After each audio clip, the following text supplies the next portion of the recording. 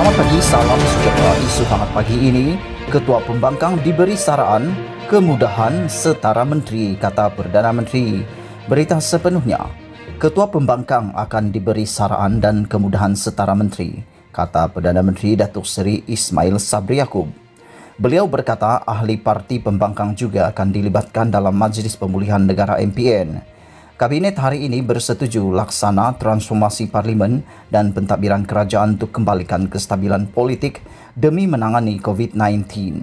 Tawaran transformasi parlimen dan pentadbiran kerajaan bagi wujudkan lanskap politik baru katanya.